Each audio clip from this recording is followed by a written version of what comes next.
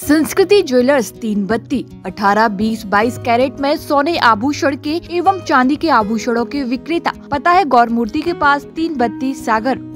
मध्य प्रदेश विधानसभा चुनाव को लेकर कांग्रेस की पहली सूची जारी होने के बाद सागर ज़िले की चार विधानसभा सीटों पर चुनाव लड़ने वाले की स्थिति साफ़ हो गई है। इसमें हाई प्रोफ़ाइल सीट सुर्खी विधानसभा से भाजपा के प्रत्याशी मंत्री गोविंद सिंह राजपूत के खिलाफ कांग्रेस के नीरज शर्मा होंगे। नीरज शर्मा को दो महीने पहले भाजपा छोड़कर कांग्रेस में शामिल हुए नीरज शर्मा जिन्हें कांग्रेस ने उम्मीदवार बनाकर मैदान में उतारा है। पूरे प्रदेश की निगाहें इस सीट पर बनी हुई हैं। आरक्षित सीट नरियावली से कांग्रेस ने सुरेंद्र चौधरी को पांचवी बार मौका दिया है। वह पिछले तीन बार से 2003, 2013 और 2018 में चुनाव हार चुके हैं जिसमें दो बार प्रदीप लारिया से हार मिली है। इस बार दोनों प्रत्याशी तीसरी बार आमने सामने होंगे।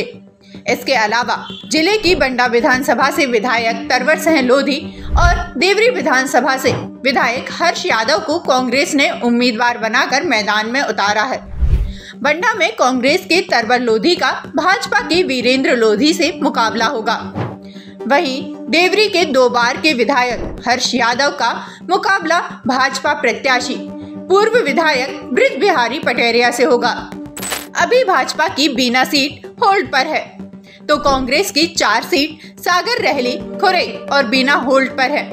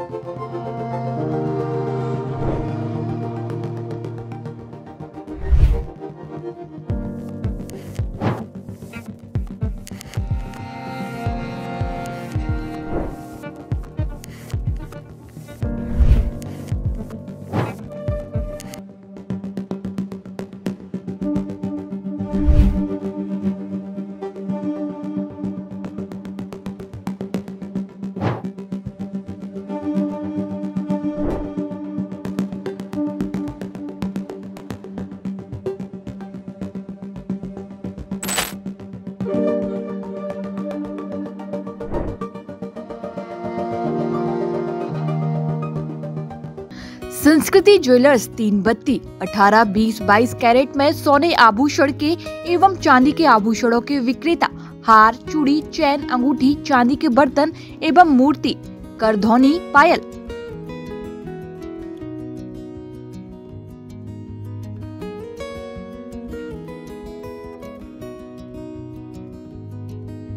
पता है गौर मूर्ति के पास तीन बत्ती सागर